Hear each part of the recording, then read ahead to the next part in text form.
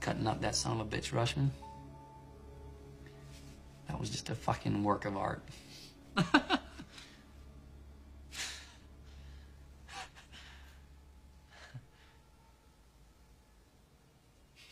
You're good. You are really good.